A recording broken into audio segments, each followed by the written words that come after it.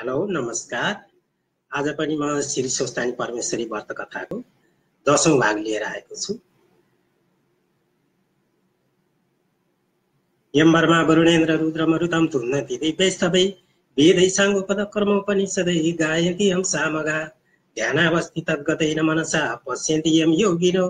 यस्यन्तं न विदु सुरासुरगणा देवाय तस्मै नम। श्रीमत् चन्दनं चर्चितो जल बपु शुक्लाम्बरा मल्लिका। मालालङ्कृत कुण्डला परविलेसन मुक्तावली शोभिता। सर्वज्ञान निधान पुस्तक धरा रुद्राक्षे माला धरा। भागदेवीं वदना मुजे वसतु मे त्रैलोक्य माता चिरम मुखम करोति वाचालं पङ्गुलङ्ग यते गिरिं।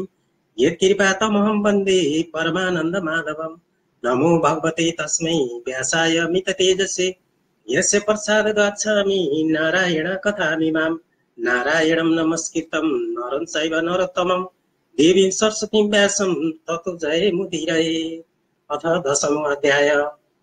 श्री स्वस्तानी परमेश्वरी की जय। पीठोत्पत्ति उपाख्यान। कुमारजी आज्ञा गर्नुहुन्छ हे अगस्ती मुनि राजगिरियामा गएर दाहिने कुइनो पतन भयो राजगिरिया पीठ राजगिरिश्वरी देवी उल्कामुखी योगिनी हरेश्वर महादेव उत्पन्न भए शिवशक्ति स्वरूपले रहे। त्यस पुण्यभूमिमा वायु आएर अनेक तरहले मिठा सुगन्ध बगाई तपस्या गरे ईश्वरी प्रसन्न भएर वरदान ल्याऊ भनिन् वायुहरूले संसारमा जति पनि जीवात्मा छन् तिनको प्राणवायु हुन सकौँ भनी मागे। ईश्वरीले तथास्तु पनि वरदान दिन फेरि कोलापुरमा गई उधार पतन भयो। कोलापुर पीठ महालक्ष्मी देवी नन्दा योगिनी श्मशानेश्वर महादेव उत्पन्न भए। शिवशक्ति स्वरूपले रहे। त्यस पुण्यभूमिमा गरुड आएर नाना रत्न एवं फलफुल चढाई तपस्या गरे ईश्वरी प्रसन्न भई वरदान ल्याऊ भने गरुडहरूले नागहरू मेरा आरा हुन् भनी मागे। ईश्वरीले तथास्तु पनि वरदान दिन फेरि महापन्थमा गएर कुइनो पतन भयो। महापन्थ महापन्थ पीठ प्रचण्ड चण्डिका देवी रेणुका योगिनी विश्वामिनी मित्रेश्वर महादेव उत्पन्न भए शिवशक्ति स्वरूपले रहे त्यस पुण्यभूमिमा अप्सराहरू आएर नाचगान गरी तपस्या गरे। ईश्वरी प्रसन्न भई वरदान ल्यायो भने अप्सराहरूले इन्द्रादि देवताहरूलाई सदैव मोहित पार्न सकौँ भनी मागे। ईश्वरीले तथास्तु भनी वरदान दिन फेरि एकापुरमा पुगे दाहिने घोडा पतन भए एकापुर पीठ साधसी देवी शङ्कुपा योगिनी उन्मतेश्वर महादेव उत्पन्न भए शिवशक्ति स्वरूपले रहे। त्यस मछुमा शिलाहरू आएर तपस्या गरे ईश्वरी प्रसन्न भए वरदान ल्याऊ भने शिलाहरूले देवताका अङ्गमा लागौँ भनी मागे।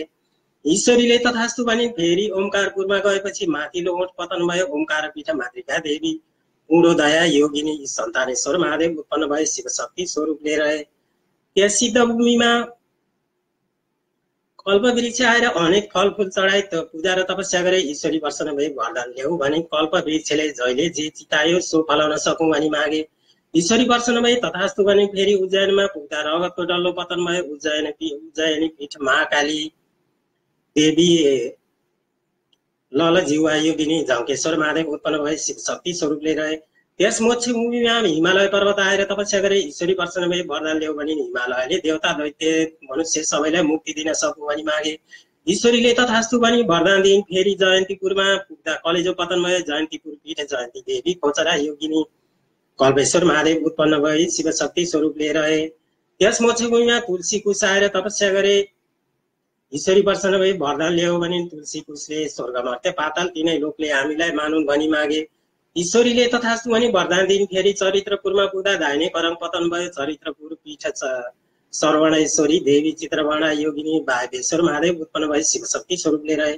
त्यस सिद्धभूमिमा योगिनी गण आएर तपस्या गरे। ईश्वरी वर्षन भई वरदान ल्याऊ भने योगिनी गणहरूले योग सिद्ध होस् भनी मागे। तथा ईश्वरीले तथास्तु भनी वरदान दिन फेरि छिरिकापुरमा गएर भुँडी पतन भयो। शिरकापुर पीठ युगधारा योगिनी युगधारा देवी कलङ्का योगिनी सहस्त्र नेत्रेश्वर महादेव उत्पन्न भए शिवशक्ति स्वरूपले रहे।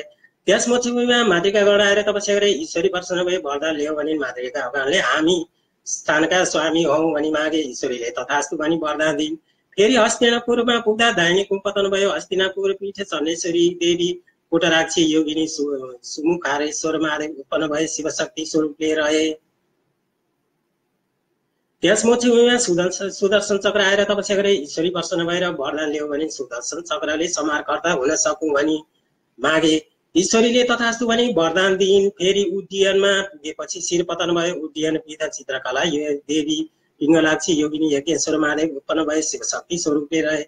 त्यस पुण्यभूमिमा हनुमान आदिले फुल चढाइ नाची उफ्री तपस्या गरे ईश्वरी वर्षन भई वरदान माग भनिन्। हनुमानहरूले चन्द्र रामचन्द्रको सेवक भएर लङ्का पोल्न सकौँ भनी वरदान मागे। ईश्वरीले तथास्तु भनी वरदान दिन फेरि विश्वमा पुग्दा मृगोला पटन भयो। विश्वपीठ झङ्केश्वरी देवी झङ्काली योगिनी कुण्डलेश्वर महादेव उत्पन्न भई शिव शक्ति स्वरूप लिएर आए। त्यस पुण्यभूमिमा विश्वकर्मा आएर सुन्दर देवालयहरू बनाए तपस्या गरे ईश्वरी प्रसन्न भए वरदान माग भने विश्वकर्माले मेरो कीर्ति सत्यता द्वापर र कलि चारै युगमा स्थिर रहोस् भनी मागे। ईश्वरीले तथास्तु भने वरदान दिन फेरि प्रयागमा पुग्दा भोक्सो पतन भयो प्रयाग पीठ सुन्दरी देवी शिव जङ्गा योगिनी महेश्वर महादेव उत्पन्न भए शिव शक्ति स्वरूपले रहे। त्यस मत्स्यभूमिमा दश अवतार आई तपस्या गरे ईश्वरी प्रसन्न भएर वरदान लियो भने दश अवतारले सत्य देवता द्वापर कली चारै युगमा दैत्य समार गर्न सकौँ भनी मागे। ईश्वरीले तथास्तु भने वरदान दिन फेरि मायापुरमा गएपछि फिरियो पतन भयो मायापुर पीठ माया देवी चञ्चला योगिनी र तपरेश्वर महादेव।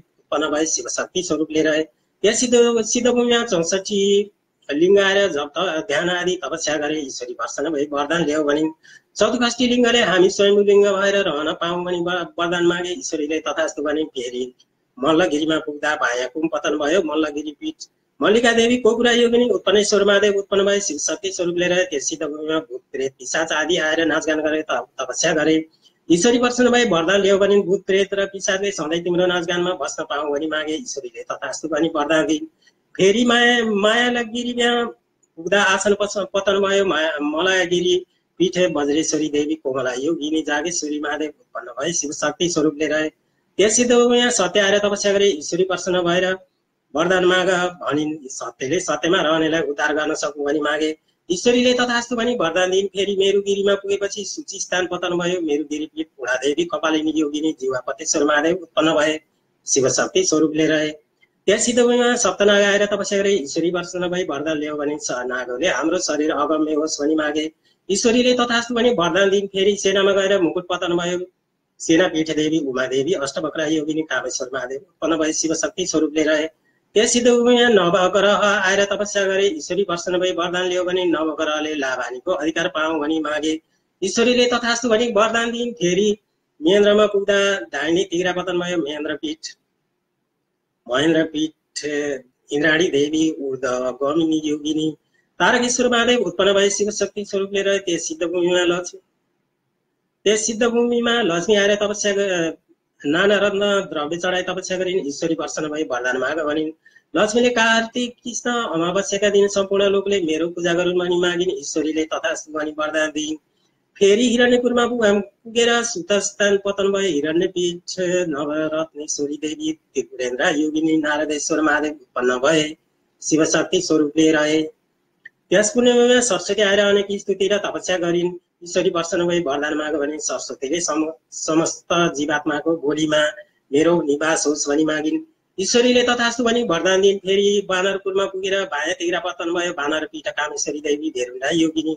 वेदान्तेश्वर महादेव उत्पन्न भए शिवशक्ति स्वरूपले रहे त्यस मत्स्यभूमिमा कमला आदि अनेक पुष्प आएर मिठो सुगन्ध विजय तपस्या गरे। ईश्वरी प्रसन्न भई वरदान माग भने फुलहरूले पूजाकालमा प्रशस्त हौँ भनी मागे। ईश्वरीले तथास्तु भनी वरदान दिइन् फेरि महालक्ष्मीपुरमा गएर बायाँ करङ पतन भयो। महालक्ष्मीपुर पीठ कमलाक्षी देवी दिगम्बरा योगिनी चित्रकुटेश्वर महादेव उत्पन्न भए। शिवशक्ति स्वरूपले रहे। त्यस सिद्धभूमिमा अडिमा आदि अष्टसिद्धि आएर तपस्या गरे। ईश्वरी प्रसन्न भई वरदान माग भनिन्। अष्टसिद्धिले अमर हौ भनी मागे। ईश्वरीले तथास्तु भनी वरदान दिन। फेरि उद्यानमा पुग्दा कन्याको पतन भयो। उद्यानपीठ त्रिपुरा सुन्दरी देवी सुकन सुशङ्कोदरा योगिनी भैरवेश्वर महादेव उत्पन्न भए। शिवशक्ति स्वरूपले रहे। त्यस पुण्यभूमिमा मेघाएर मानसोपचारले पूजा तपस्या गरे ईश्वरी प्रसन्न भई वरदान माग भनिन् मेघले समस्त संसारलाई जलदान गरी उद्धार गर्न सकु भनी मागे ईश्वरीले तथास्तु भनी वरदान दिने फेरि छाया छत्रमा पुगेर रहेका सबै अङ्ग पतन भए। छाया छत्रपीठ छत्रेश्वरी देवी सुको सुकोदरा योगिनी पिजाशेश्वर महादेव उत्पन्न भए शिव शक्ति स्वरूपले रहे। त्यस पुण्यमा अष्ट भैरव आएर नाना उचाले पूजा एवं तपस्या गरे ईश्वरी प्रसन्न भई वरदान माग भनिन्। अष्टभैरवले गढको अधिपति हौ भनी मागे ईश्वरीले तथास्तु पनि वरदान दिने हे अगस्ती पनि यस्तै किसिमले जुन जुन स्थानमा सतीदेवीका अङ्ग पतन भयो। त्यहाँ त्यहाँ एक एक पीठ र स्वयम्भू लिङ्ग उत्पन्न हुँदै गए। समस्त पीठको सङ्ख्या साढे सात करोड छ। त्यसमध्ये पचास पचास पिठको मात्र दर्शन गरे पनि अवश्य मुक्ति प्राप्त हुन्छ। मनुष्य जन्म भएर ती पचास पिठमा एक पिठको पनि दर्शन गर्न सकेन भने त्यसले जन्म लिएको व्यर्थ हुन्छ अनि भनी स्वयं वर्माजीले आज्ञा भएको छ। इति श्री स्कन्द पुराणे केदार खण्डे माघ महात्मे कुमार अगस्त सम्वादे। शीर्षोस्थानी परमेश्वर व्रत कथायाम अङ्गपतन नाम अङ्गपतन पीठोत्पत्ति वर्णनम नाम दशम अध्याय समाप्त। हरिहरि शीर्षस्थानी परमेश्वर की जय। उपनायतु मङ्गलम सकल जगन मङ्गलालय श्रीमान दिनकर किरण निबोधित। नवन लिन दल निवेक्षण कृष्ण। काले पृथ्वी सस्यशालिनी देश स्वयं छोबरहितो ब्राह्मण सन्तु निर्भय। अपुत्र पुत्रिण सन्तु पुत्रिण सन्तु पौत्रिण निर्धना सदना सन्तु जीव सन्तु शरदम सताम। तत्रैव गङ्गा यमुना च तत्र गोदावरी सिन्धु सरस्वती च तीर्थानि सर्वाणि वसन्ति तत्र यत्र चुतोदार कथा प्रसङ्ग। या कुन्देन्दुसार हार धवला या सुरवस्त्राविता या वीणा वरदन मणितकरा या श्वेत पद्मासना। या परमाच्युत शङ्कर प्रवृत्ति विदेवै सदा वन्दिता सामा पातु सश्री भगवती निशेष जाड्यपाहा कायन बाचा मनसेन्द्र बा बुद्धात्मन बा प्रकृति स्वभाव करोमि यद्य सकलम परस्मै नारायणायति समर्पयामि। श्री स्वस्तानी परमेश्वरी कि जय। दशौँ अध्याय समाप्त। र जाँदा जाँदै एउटा कुरा भन्न चाहन्छु यहाँहरू सबैलाई कि नेपालमा चाहिँ प्रधान न्यायाधीशको चाहिँ विरोध गरेको विषयलाई लिएर गोविन्द केसीलाई चाहिँ धरपकड गरिएको छ पक्राउ गरेर चाहिँ राखिएको छ। त्यसको विरुद्धमा चाहिँ सबैले आवाज उठाउँ भन्न चाहन्छु। I am with Govind KC भनेर चाहिँ गरौँ सहयोग गरौँ।